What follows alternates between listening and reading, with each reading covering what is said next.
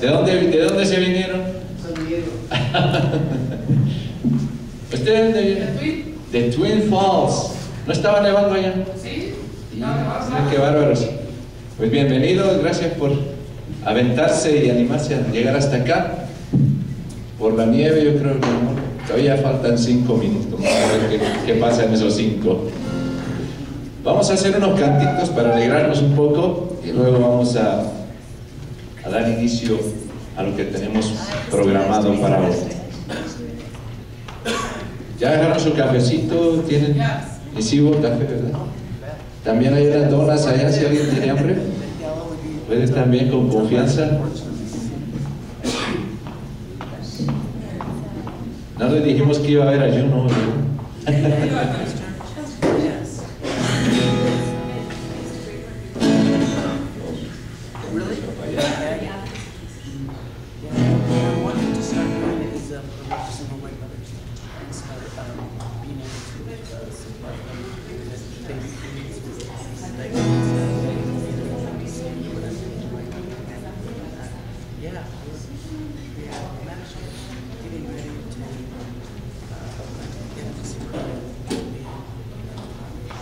¿Ya no está frío? Julia.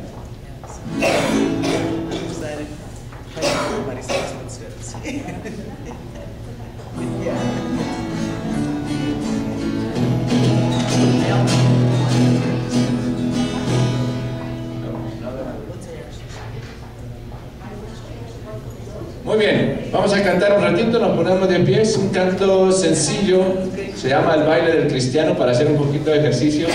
Se venían tensos ahí manejando la nieve, ¿ok? ¿Listos? Con palmas primero y luego vamos a ir a hacer la, vamos a ir bailando las partes que vamos a ir cantando. ¿Listos?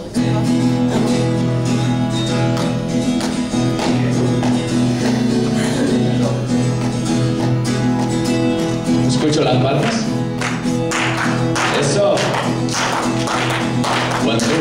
Cristiano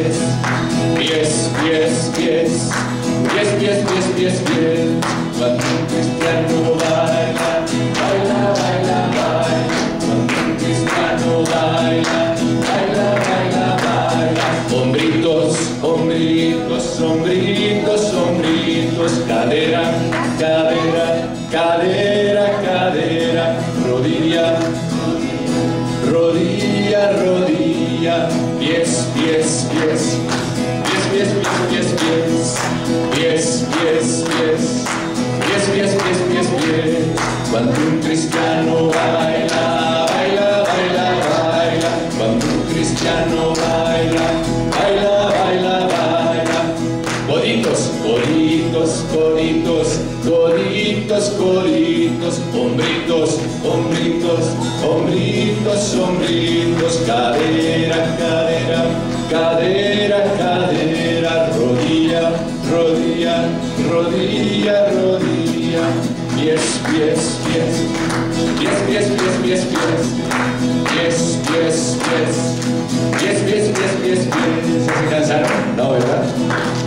Cuando un cristiano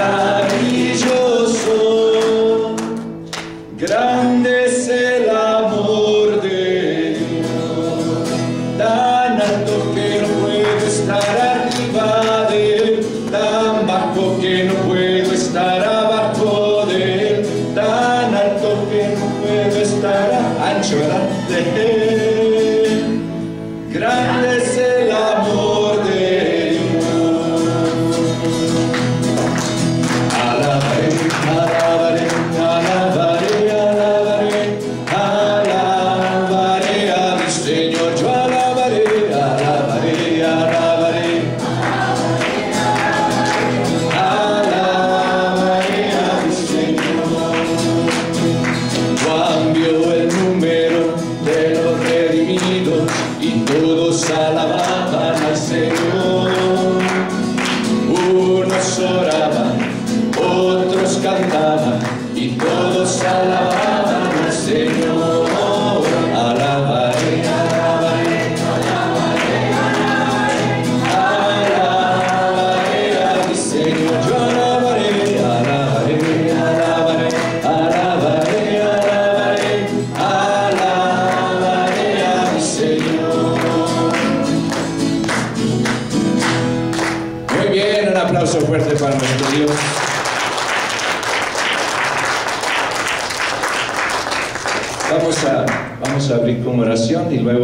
Presentar a todo el equipo que ha hecho posible este día.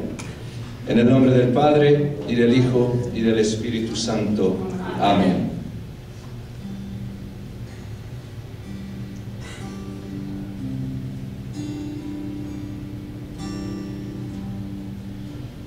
Te damos gracias, Señor, por este día que nos regalas de tu generosidad, de tu amor.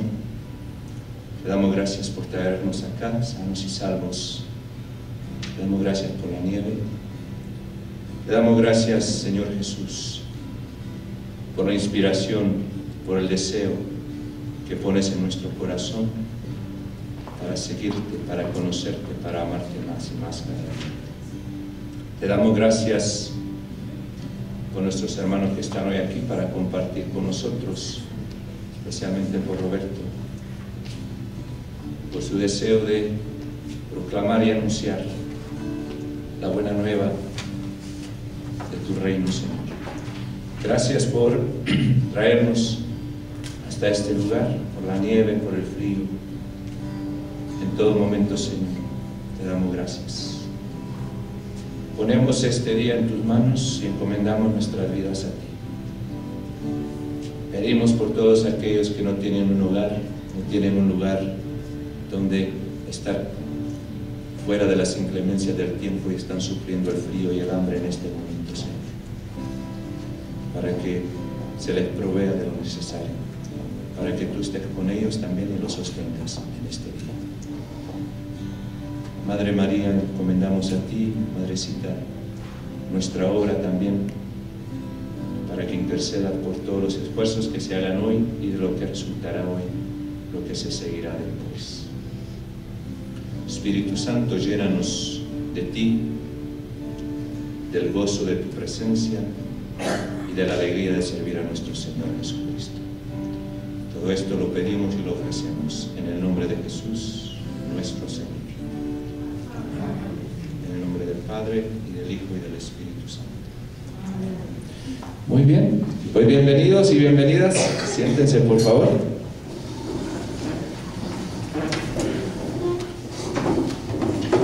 Quiero primero invitar a Christine Smith y a Marisela, que está ya todavía registrando, ahorita llegará.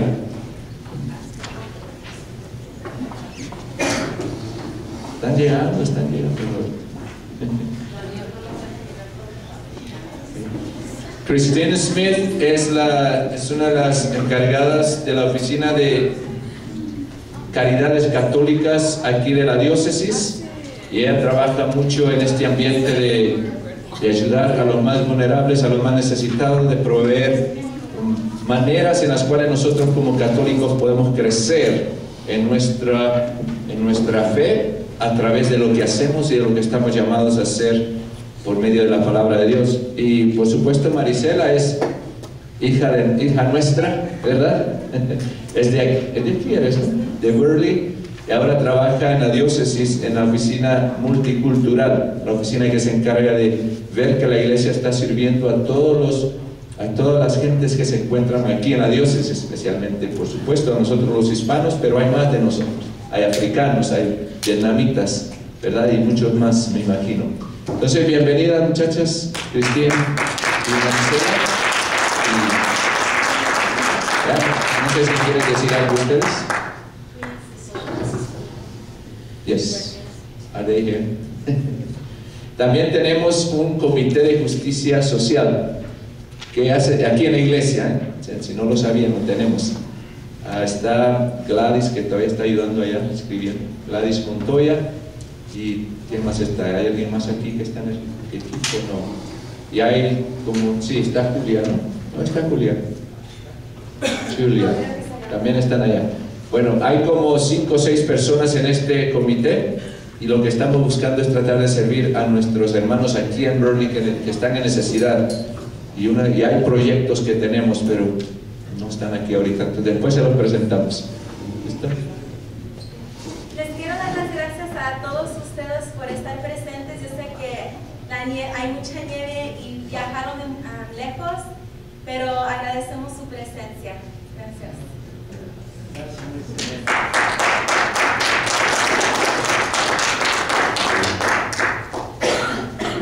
Por supuesto, nuestro invitado principal, uh, Roberto Rojas. Roberto enseñó en colegios y escuelas privadas, preparatorias privadas en Argentina por siete años. También enseñó clases de moral y ética y justicia social en el Instituto para Liderazgo y Ministerio, Ministerio para diáconos y para laicos en la diócesis de San José, aquí en Los Ángeles, me imagino, California, por cinco años. Y también fue un miembro de la Comisión de los Asuntos Humanos de la diócesis por dos años y ha estado en más de 20 inversiones de viaje de inmersión a países pobres para ver su realidad y también ver cómo la iglesia está respondiendo a esa realidad a través de los esfuerzos que se hacen aquí en la iglesia de Estados Unidos, pero también alrededor del mundo. Así que Roberto, Rojas, bienvenido. Damos un fuerte aplauso.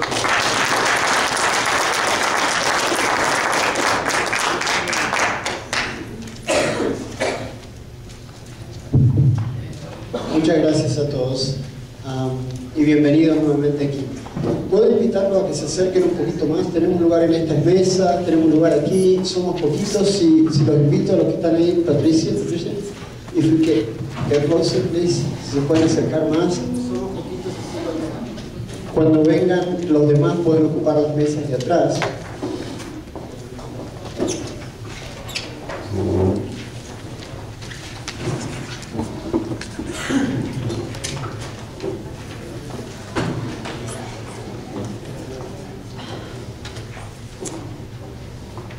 Fernando, sin miedo. Fernando. Muy bien, yo le quiero dar las gracias a ustedes por venir. Yo sé que su tiempo es bien valioso. Ah, siempre los fines de semana tenemos cosas para hacer, para compartir con nuestra familia, con nuestras personas queridas y venir a escuchar y compartir aquí significa que ustedes están haciendo un esfuerzo y eso es muy valorable. Su tiempo vale oro y yo se lo quiero agradecer por estar aquí, por haber venido. Y también a las personas que organizaron esta jornada o este retiro de justicia social y de la doctrina social de la iglesia. Especialmente al padre. Uh, tienen un padre realmente muy bueno. Uh, he quedado muy, muy bien impresionado con él. Uh, qué amable, qué atento, qué abierto que es y cuánto deseo que tiene de hacer cosas para ayudar a la comunidad. Así que estoy muy agradecido de que lo haya puesto esto aquí. Am, vamos a comenzar con, ya hicimos una oración, pero antes de hablar de la justicia social y de la doctrina social de la iglesia, yo quiero que ah, renovemos nuestra presencia de Dios. ¿Quién está aquí con nosotros hoy día? Dios. Está Jesús en medio nuestro. Está Jesús con nosotros. Y, yo quiero que todo comience en Dios hoy día y que termine en Dios. Quiero que nos conectemos con esa presencia amorosa de nuestro Padre y que encontremos nuestro espacio sagrado. Hay un espacio sagrado que está en la iglesia, donde nos juntamos a rezar, pero también hay un espacio sagrado que está dentro nuestro, en nuestro corazón. ¿Sí o no? ¿Mora Dios en nuestro corazón? ¿No está vivo Él ahí adentro nuestro? Sí que está. No importa cuán buenos nosotros seamos o cuán malos, no importa nuestras falencias y nuestras debilidades, nuestro Padre que nos ama infinitamente siempre está dentro de nuestro corazón y nunca deja de amarnos y nunca deja de querernos y de invitarnos. Hay un espacio sagrado, hermosísimo, donde Dios nos da vida desde adentro, de lo más profundo de nuestro ser. Allí mora Él. Y desde ahí Él nos da todo lo que tenemos y todo lo que somos. Nos da fuerza para amar, nos da fuerza para actuar, nos da fuerza para responder, nos da fuerza para compartir, nos da su espíritu y sus dones. Entonces, yo quiero que encontremos en este momento ese espacio sagrado y abramos nuestro corazón. Yo abro mi corazón para compartir con ustedes, ustedes abran su corazón para escuchar lo que Dios quiera compartir a través de lo que yo tenga que decir o a través de lo que Dios les inspire. Entonces, encontrar ese espacio sagrado, ese espacio santo. ¿Se acuerdan ustedes la historia de Moisés cuando fue al monte Sinaí y vio la zarza ardiente? ¿Quién se acuerda de esa historia? ¿Qué pasó con Moisés cuando vio esa zarza ardiente? ¿Quién se acuerda lo que pasó? A ver, Dios te dice, quítate los zapatos porque la tierra que estás pisando es sagrada. muy bien, muy bien. Le dijo, le dijo, Dios le dijo, remuévete la sandalia de tus pies, porque la tierra que estás pisando es tierra sagrada. Y yo quiero que en nuestro corazón, no me voy a sacar los zapatos porque hace mucho frío, pero, pero quiero que en nuestro corazón saquemos nuestra sandalia y, y reconozcamos que hoy día, en este retiro, en este espacio, estamos como en una tierra sagrada y que Dios está con nosotros y va a estar con nosotros todo el día. Entonces encontremos ese espacio sagrado dentro nuestro para que podamos abrir el corazón y escuchar su mensaje. Dios envió su espíritu sobre los primeros discípulos, ¿se acuerdan en Pentecostés? Y al enviar su espíritu y entregar todos sus dones, Él cambió la faz de la tierra. Él hizo que la fe en Cristo se esparciera por todas las naciones. Estamos nosotros hoy día aquí reunidos porque creemos en Cristo. Yo no vine por ningún otro motivo que no sea porque creo en Jesús. Y no creyera en Jesús, no hubiese venido. Ese es el verdadero motivo por el que estamos aquí. Y, eso se produjo porque el Espíritu Santo, enviado por Jesús y por el Padre sobre los discípulos, transformó la vida de los discípulos. También Dios continúa enviando el Espíritu Santo a cada momento en nuestras vidas. En este momento que nosotros hablamos, el Espíritu Santo busca en el corazón de cada uno de ustedes, busca un espacio donde reposar, busca un espacio donde entregar sus dones. Mientras más nos abrimos, más dones recibimos. Mientras más nos abrimos, más el Espíritu Santo actúa dentro nuestro. Entonces, conservar esas cosas durante todo el día de hoy, conservar esas cosas en nuestra memoria. ¿Qué me está diciendo el Espíritu Santo? ¿Qué es lo que me está tratando de comunicar el Espíritu Santo hoy? El Espíritu Santo es un fuego y el fuego es un fuego que, que quema, que desafía. El Espíritu Santo nunca nos deja indiferentes. Si ustedes llegan hoy día aquí y salen exactamente igual que como llegaron, algo ocurrió que uno no pudo conectar con el Espíritu Santo. El Espíritu Santo es un fuego que quema, que transforma, que da calor, que ilumina. Entonces, ábranse a eso y traten de escuchar el desafío que el Espíritu Santo les está presentando a ustedes. Finalmente, en este tiempo que vamos a compartir, yo quiero que esté con nosotros, ¿quién? María. Como cristianos, como hijos de Dios, así como Jesús, el Hijo eterno del Padre, se hizo hombre a través de María, así nosotros nacimos a nuestra fe a través de María. Y nuestra madre, así como estuvo presente en toda la vida de Cristo, y estuvo presente en la vida de los discípulos, está presente en nuestra vida. Ella con su manto nos cuida, nos protege, nos alienta, nos estimula, nos da esperanza, nos da fuerza. Entonces yo quiero que también tengamos presente la presencia de nuestra madre. Y teniendo presente esto, quiero hacerles una pregunta a ustedes que conocen la historia de la Virgen de Guadalupe mucho mejor que yo. ¿Qué, qué pasó cuando esta señora se apareció a Juan Diego? ¿Cambió eso en algo la historia de México? ¿Sí o no? Transformó completamente todo. ¿Y cuántas personas habían en ese encuentro? ¿Cuántas personas fueron a ese encuentro? Solamente, solamente uno. Nosotros aquí somos un montón de Juan Diegos. Un solo Juan Diego, simple, sencillo, un solo Juan Diego transformó toda la historia de México y de América y aquí en Estados Unidos. Un solo Juan Diego que, se puso ante la presencia de María. Ese solo encuentro. Ese encuentro se puede repetir hoy día. Nosotros también podemos ser ese Juan Diego que se pone en la presencia de María y deja que nuestra vida se transforme totalmente. Fíjense cómo todas las cosas grandes empezaron de una manera simple. Quizás los que organizaron a el padre o, o, Marisela o Cristín, ellos se preocupan, dicen, uy, quizás no vino mucha gente, ¿cómo se sentirá Roberto? Mire, yo me siento feliz que están todos ustedes aquí. Y si hubiese venido una sola persona, me sentiría feliz que hubiera venido una persona. Porque saben que el número no cambia nada. La historia la cambian las cosas simples cuando son profundas. Eso es lo que cambia. Lo que cada uno de ustedes puede hacer en donde esté, en su familia, en su ministerio, en su parroquia, es hermoso y es grandísimo. Así que yo estoy feliz de que los que vinieron, vinieron. Y los que no pudieron, Dios los bendiga que no pudieron venir hoy día. Pero no es el número lo que cambia las cosas. Lo que cambia las cosas es la profundidad de un encuentro verdadero y genuino con el Espíritu Santo, con nuestro Señor, con Dios, con nuestra Madre María. Así que yo me tomo de la mano de ella y les invito a ustedes que se tomen de esa mano de María para que podamos caminar durante el día de, hoy y podamos transformar nuestra vida con las cosas que aprendemos. Antes de terminar esta reflexión espiritual, quiero hacerles preguntas acerca de lo que ven aquí y que está conectado con lo que dije. ¿Qué es lo que ustedes ven en esta foto? Esperen por unos 30 segundos o un minuto y simplemente gócenla en silencio.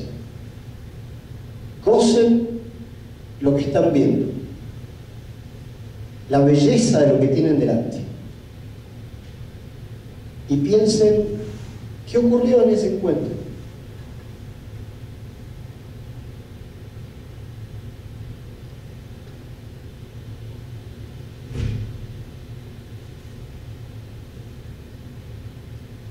¿Quiénes están ahí presentes en ese encuentro?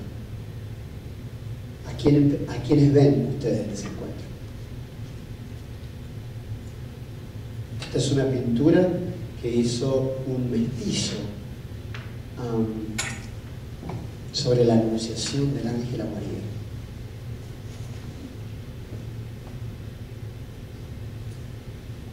¿Cómo ven a María ustedes? A ver, cuéntenme, ¿qué ven en María? ¿Cómo la ven ustedes? Con mucha fe. Contemplando. Fíjense María cómo tiene los ojitos mirando al ángel y contemplando, pensando qué es lo que está ocurriendo en mi vida. ¿Qué más ven? Sin miedo. Aquí no hay ninguna respuesta que sea incorrecta. ¿Qué más ven ustedes? Mucha ternura, Mucha ternura, tienes razón. mucho amor. Mucho amor. Esa ternura y ese amor transformaron el mundo. Humildad. Todo lo grande nace de lo humilde. Todo lo grande nace de lo simple. Todo lo grande nace del poder de las cosas humildes. Miren esa pequeña joven, esa pequeña mujer, que escuchó un anuncio y dijo sí desde su humildad al poder de Dios. Y eso lo transformó absolutamente todo. ¿Qué más ven ustedes? Humilde, humilde. Humilde, humilde, la humildad, humilde. ¿Qué más ven? Una hermosa luz radiante. Una hermosa luz radiante. Y saben que esa luz radiante del ángel, esa luz entró en la vida de María. Con esa luz María iluminó a toda persona que vio. Y esa luz radiante que entró en la vida de María cuando María dijo sí, que es la luz de Dios, es la luz que tienen todos ustedes dentro. Es la luz que vive en lo más profundo de su ser, en ese espacio sagrado. Cada uno de ustedes tiene una luz tremenda, un fuego inmenso dentro de su corazón, un amor inmenso como este dentro de su corazón. Que si ustedes dicen sí a Dios, esa luz sale afuera. Sale cuando uno canta una canción, sale cuando uno trata de bailar. Yo soy medio malo para bailar, no, me puedo ni mover, soy medio de tierra, como dicen en, mi- en mi país. Pero igual la luz brilla de alguna manera, la luz se muestra de alguna manera, la luz sale de alguna manera. Esa misma luz brillante que está ahí es la luz que está presente en la vida de cada uno de ustedes. Por eso si vienen uno o, o cien, a mí me da lo mismo, porque la luz de una persona cambia la vida de muchos más. ¿Alguien quiere compartir algo más de esto? ¿Cómo se sienten ustedes cuando ven esta imagen? Sin miedo, sin miedo. No hay nada que esté equivocado. Ella está paciente y esperando. Ella está paciente y esperando. Es verdad. Está orando. Se ve como que las manos como si estuviera tratando de ponerse en oración. Hay paciencia, hay espera, hay oración. Está abierta. Está abierta, Sola. está sola. ¿Y saben qué? Todos nosotros estamos solos. Este es un mundo en el que vivimos solos. Es un mundo que aún en medio de mucha gente vivimos solos. Es un mundo donde hay mucha soledad dentro de nuestro corazón. María está sola, pero está abierta a que esa soledad se llene de Dios y a través de ese llenarse de Dios puede irradiar a los demás. Ustedes han visto en esta imagen, inclusive muchas más cosas que yo no he, visto. ¿Qué más quieren compartir de la imagen? No se, no se logra apreciar desde aquí, pero me parece que hay un- una sensación de, no de miedo, pero de, de temor. De respeto. No, no, no se alcanza a ver su carita de pero sí al, al ver la luz, porque si va con la escritura, sí está esa parte de... Es verdad. ¿Y saben qué? Es normal eso. ¿Ustedes creen que Moisés no tuvo miedo cuando vio la zarza ardiente?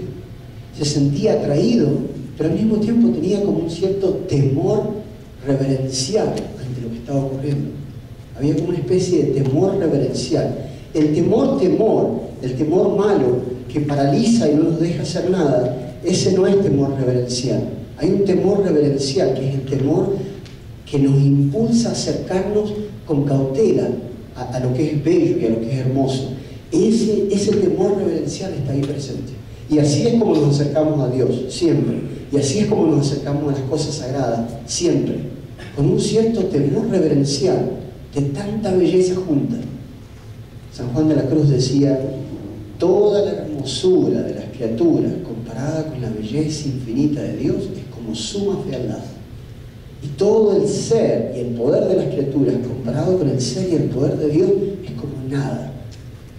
Nos estamos acercando a algo que es hermosísimamente grande, por eso hay como una especie de temor reverencial, que no paraliza, que nos permite decir sí, que nos permite hablar, que nos permite compartir sin miedo de lo que somos.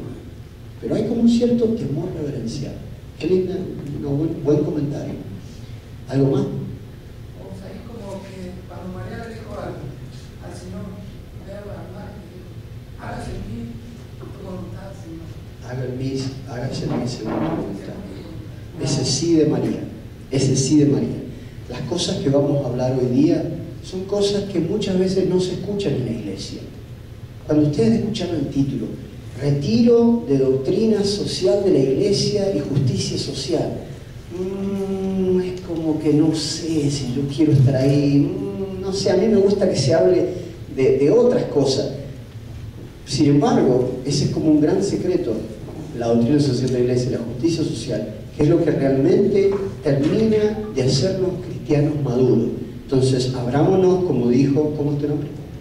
Hágase en mí según tu voluntad, Señor. Ha- ha- hagamos eso en nuestro corazón, que se haga en mí según tu voluntad, que se haga en mí según tu voluntad. Que lo que ocurra hoy día, que lo que aprenda hoy día, se haga carne en mí. Dios se hizo carne dentro del vientre de María, se hizo carne.